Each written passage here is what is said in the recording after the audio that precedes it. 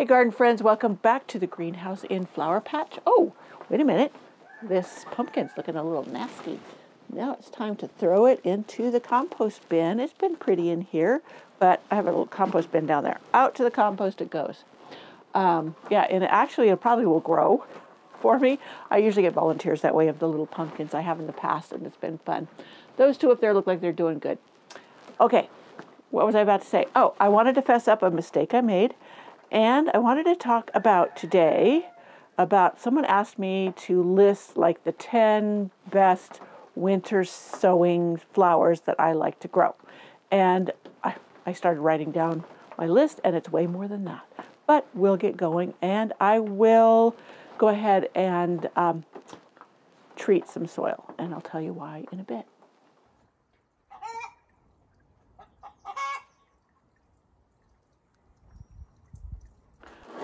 If you like this video, please give it a thumbs up and or share with your friends. Someone might need to learn this so they don't make the same mistakes I do. Alrighty, so mistake.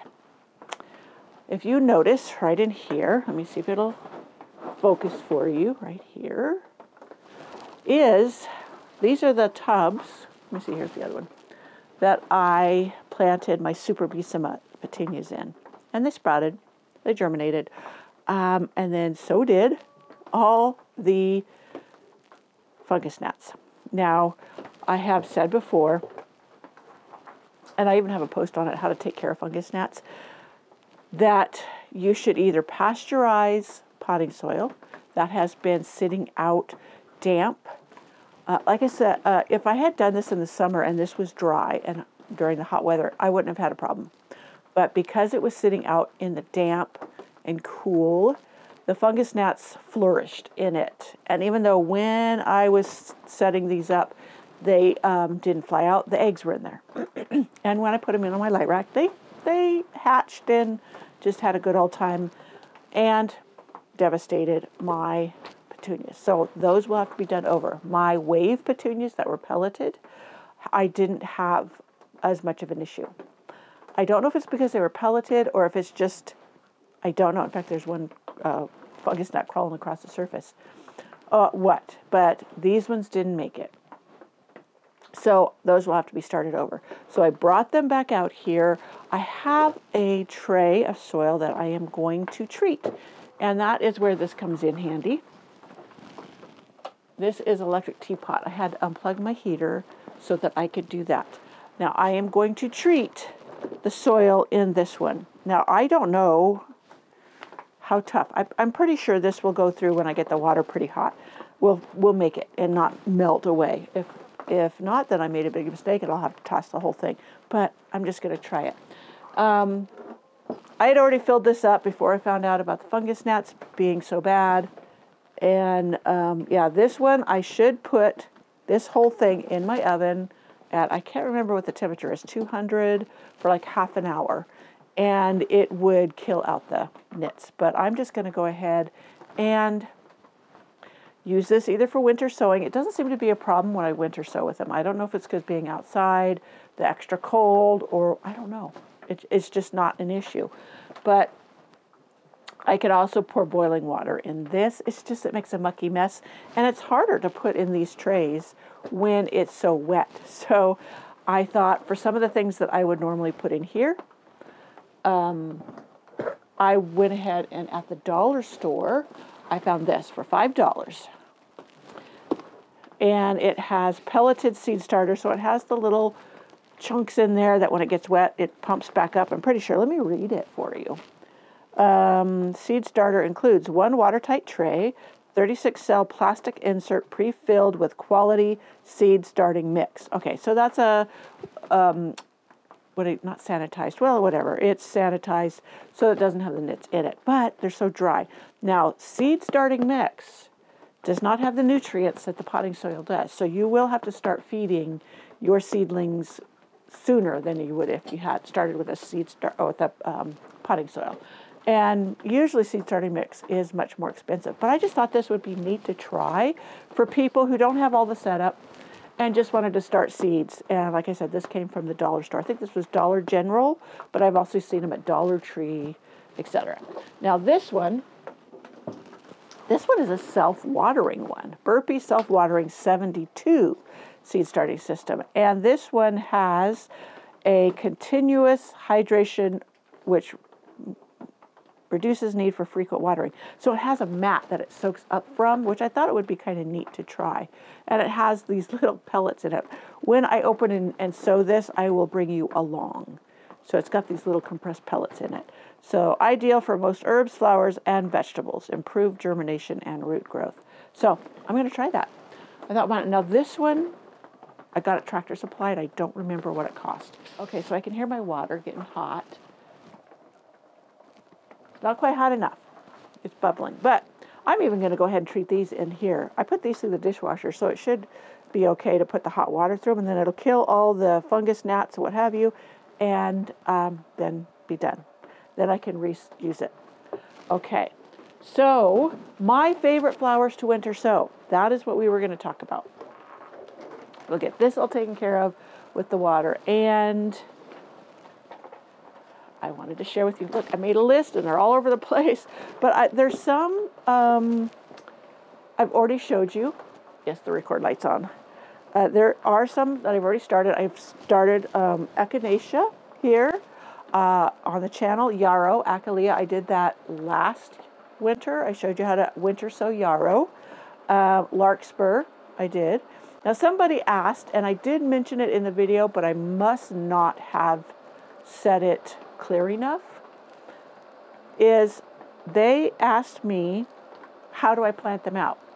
Uh, like the poppies, that's what the one. I did the poppies, let me mark these off that I mentioned so I don't repeat myself, is um, because they don't really like root disturbance, and that's one reason why people do not recommend starting them indoors or what have you.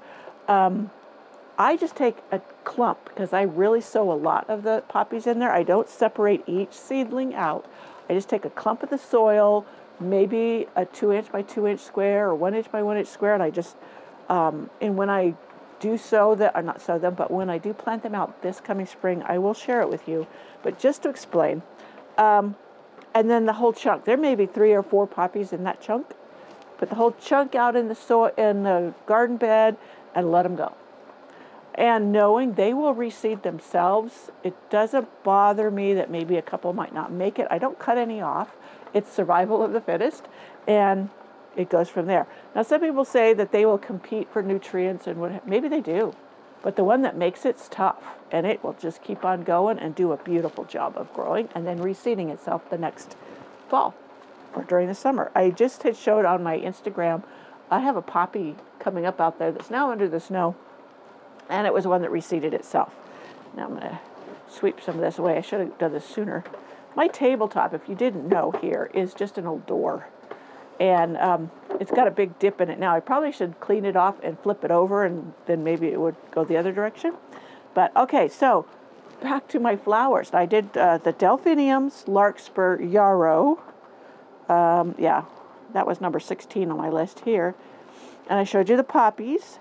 You could also winter sow sweet peas. I do them right out in the garden, um, but you got to be careful. It depends on how much rain or moisture and how, um, if you have clay or whatever, they can drown or just rot in the ground.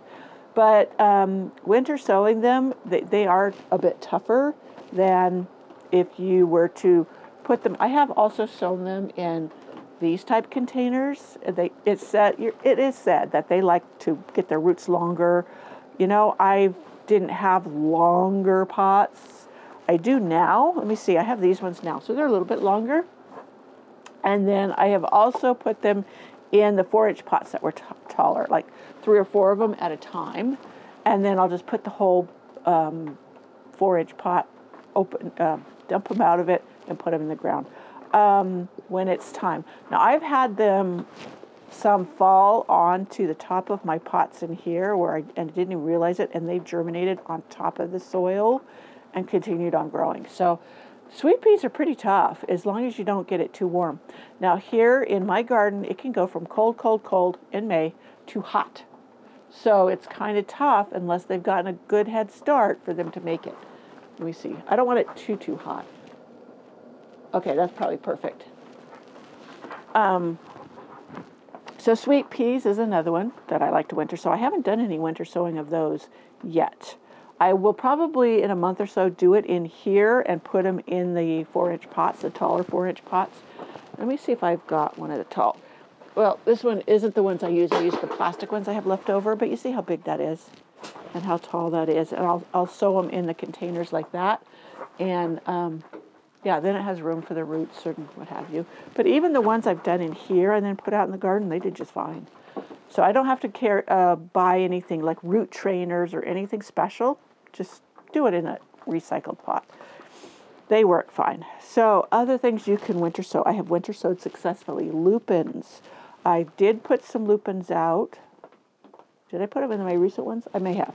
Lupins snapdragons. I was looking, I had gotten some snapdragon seeds and I can't find them. I will, but snapdragons is another one I'm going to put out. Now, I have mentioned in my, where I showed you overwintering my banana, that I am really leaning into winter sowing this year rather than starting seeds on my light rack in the house.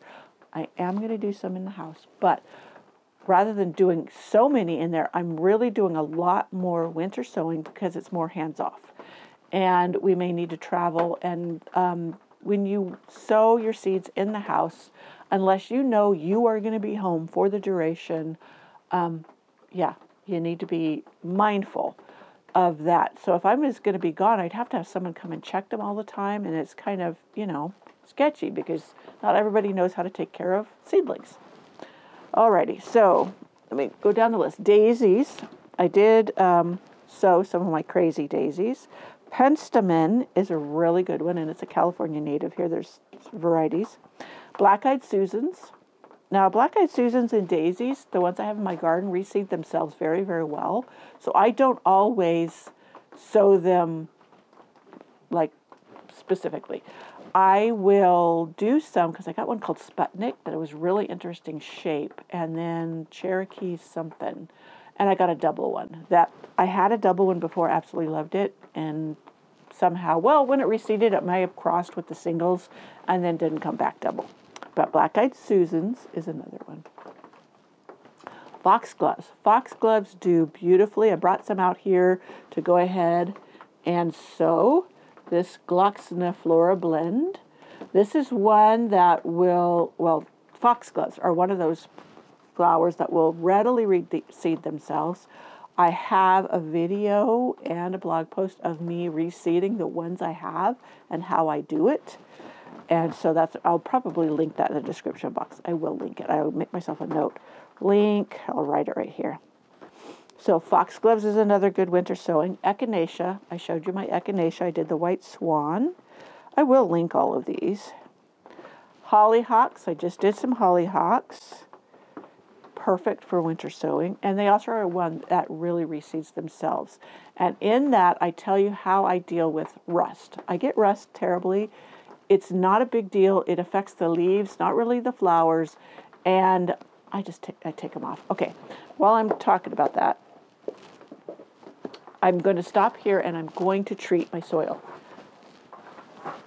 So here's how I'm treating it. Like I said, I'm hoping these this container holds up. I'll do a couple and see how it does. Let me see. Let me point you down a little bit. And then you can see better what I'm doing. Try not to have it looking up my nose. Okay. We in there? Good? Good enough. So here's my container. This is the one that has the silicone base on the bottoms. And I'm just putting a little bit of water in each one. Now I'm going to see. See how it's doing. It's, okay. Yeah, it's doing fine. Okay. So the boiling water kills not only the fungus gnats, but also the eggs. And though they can reinfest it if there's a lot in the house, they will get caught on the yellow traps I have in there. I, I don't anticipate them getting reinfected because I'm going to be more careful. I don't want it to sit in the hot water because even though the silicone made it through the initial. I don't want it. I'm going to put the, this hot water in there. I don't want to take the chance of having it sit in there. So, okay. So that's still steaming, so that took care of that. So I'm going to set this on top of here, and I'm going to pour the hot water through it. These are the recycled trays that I used.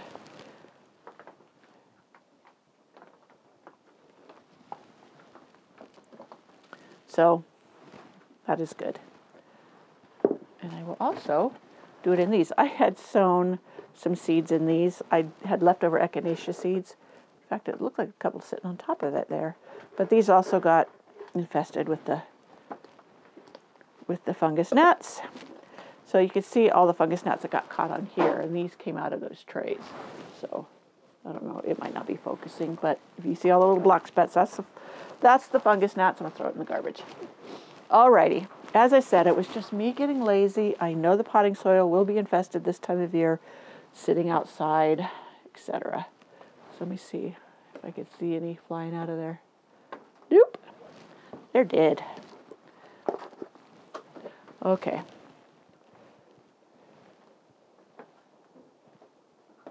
All right. So this would take a whole lot more.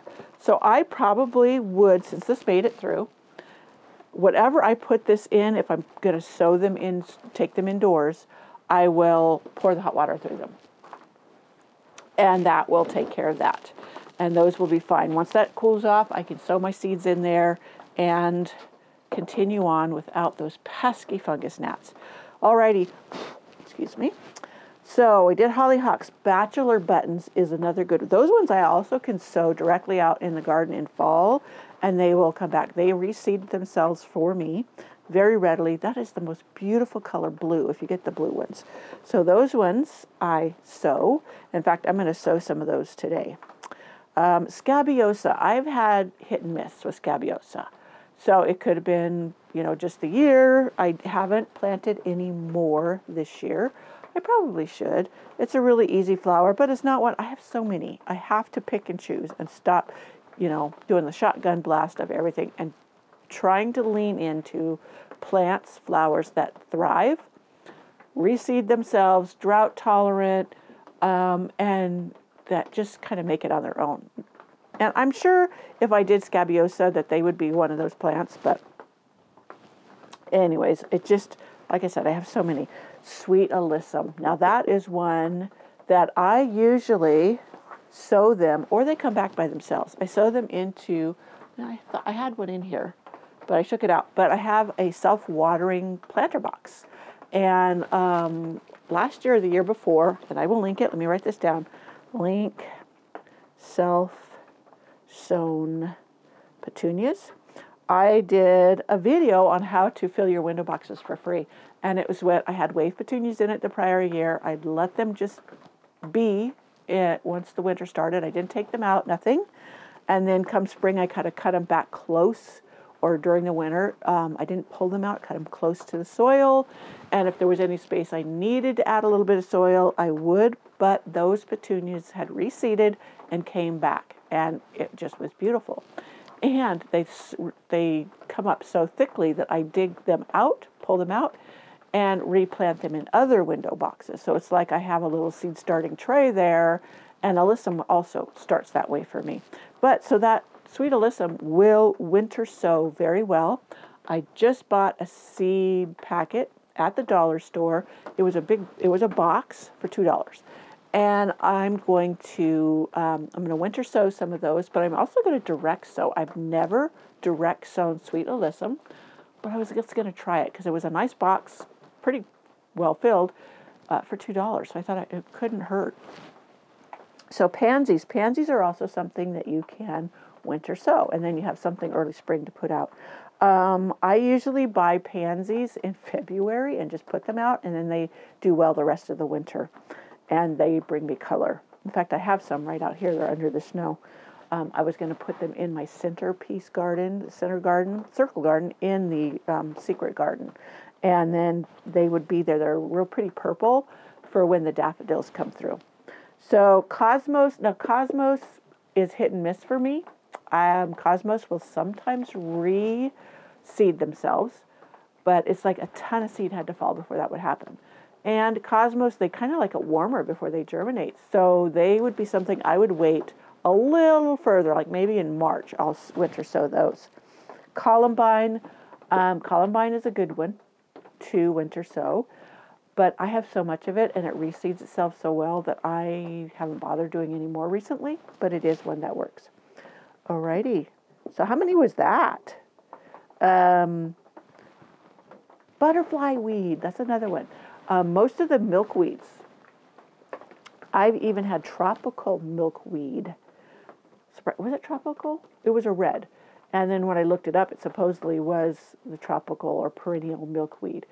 And um, that reseeded itself. Now, while I know it didn't live over the winter, was because where it came up was in a different spot than where it had been planted. So it wasn't like it came back because it gets too cold here for that type of milkweed. But I had planted two of them the prior year and had so many monarch larvae or caterpillars, and I had so many monarchs that year. Um, whereas I've been, it's been very hit and miss here for me seeing monarch butterflies. Even the swallowtails have been a lot less. I used to have years where I had dozens and dozens, and it's not been happening the last few years. So that's a little scary to me. But I want to attract them, I want to feed them.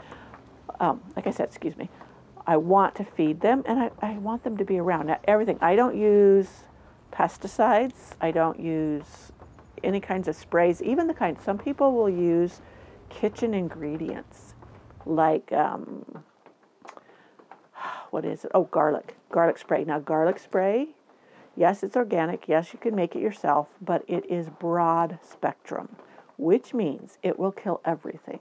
So don't think because it comes out of your kitchen, it is necessarily safe to use in your garden. Just a heads up, because I see a lot of things posted in Pinterest, on YouTube, on Instagram as these garden safe things, and they think people people think because you bring it out of your kitchen that it's safe to use in the garden. That includes vinegar. You know, there's a whole lot that you need to research before you use things on your plants as far as them being dangerous to the ecosystem. Alrighty then. Okay, like I said, butterfly weed. I have more I want to start. And I was going to um, share with you a few things. Now, I said I wasn't going to buy seed, but um, I had some ground covers. I wanted to do, I want to do a rock garden. And so I knew I wanted some aubrietas, which is also called rock cress. So I did buy these from outside outsidepride.com, a seed company, and um, you see these flowers on here. Let me put my face up here so it'll focus. But these make beautiful plants, blooming plants. This is that's a lighter lavender, and here's a deeper purple one for a rock garden and ground covers. And this is a trailing. This is um, Silver Falls dichondra. Now this is really expensive if you buy it at the garden center. And mine, it doesn't overwinter here. I've even tried overwintering it inside the greenhouse and it didn't make it. It got that snow mold or greenhouse mold. Um, I think I have fought it back with the spray I told you about.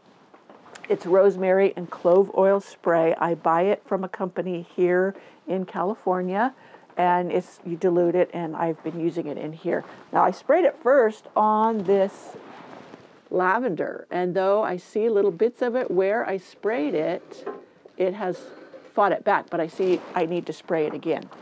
So um, I'll do that right now or I will forget. So it's just something I have to keep up with. Now the only thing I can think of is it happens in here because it's not getting direct sun. And so with the damp air and not enough light, because I get it no other time of year, only in January, February do I have to, to spray for it. So that's the only thing I can think of. Um, let me see over here. Yeah, some of my geraniums had it earlier and I sprayed them and they seem to be doing okay right now. But that snow mold or greenhouse mold will kill everything. And yeah, and some things, um, like those pansies, I took, they had them in here, and I took them out there because they were starting to get it. And I thought, I don't want to risk it, and I know it doesn't grow outside. So I put them outside. They're tough, they can handle the snow and cold. So it was either snow or cold or, or snow mold. So out there they went. So that is my list of my winter sowing seeds. I am, because the um, rock cress, it says it germinates at 65. Um, I think it's a good candidate to try winter sowing. So I'm going to get me some jugs out here. I'm going to fill them up with my potting soil and I'm going to winter sow part of the seeds. There were so many seeds in those packets that, um, yeah, it's going to be, where'd I set them? I probably set them down when I was yapping and I don't know where I set them. Anyways, there's so many in there, I have no fear that even if it didn't uh, work with winter sowing, that I would, could go ahead and, and sow them when it gets nicer. Um, yeah, I have these trays too that I could sow them in and then take them in and put them on my light shelves. So that's another thing. But I, I wonder how well this would hold up against the hot water. These are kind of thin. I could try one. I, they weren't very expensive. So I wanted to try those because I like, as I said before, I like sowing in trays rather than the individual cells because many times the plants are healthier. And that's just how it is. They are just come up healthier. I do have more petunias to sow. This one is the Wave Petunia Pink. I had this in barrels up in front. I will try to find that for you to show you. Beautiful. Filled those half wine barrels.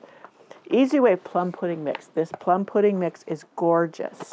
So there's 10 seeds. So I wonder if this is cool enough to plant in. Probably. I could go ahead, because since they sit on top, I'll go ahead and put them. I know the bugs are dead in that now. Maybe I should give it another run through just in case, because I don't want to lose these. Yeah, I will, just because I'm going to be extra cautious now rather than being lazy. Alrighty, so those are the seeds that I could think of that I really enjoy winter sowing. I have a bunch out there already, and there might be some out there that I couldn't remember that I. Let me go check. I'm gonna go check.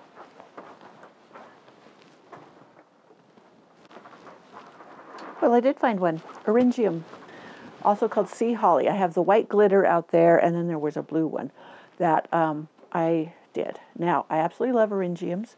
They are the biggest pollinator magnet you have ever seen, and very different pollinators too. And um, yeah, that does really well. But those I have to put in protected beds because the gophers really, really love them too. So those were a couple more. So I hope you enjoyed this video. If you have any you've had great success with, any flower seeds, then please do share. I know there's a wide array. And usually the rule of thumb with winter sowing, flower seeds, or any kind of seeds really, is if it's something that is hardy in your zone as a perennial and easily reseeds itself. I have so many things out in my garden that reseed themselves, and what makes sometimes my gardening life so much easier um, because it really fills in in mass, and that's what really gives your garden punch a punch of color. I was just watching a garden show. I'm always watching gardening shows. But it was so amazing. This one garden gardener, head gardener of an estate. Well, it showed how he filled in, like, there was the spring blooming flowers, and they were in mass. But then they fade away when the summer heat arrives. Well, he digs them up and he pots them up, puts them aside somewhere where they'll be fine for the rest of the summer, and then he replaces them with the summer blooming.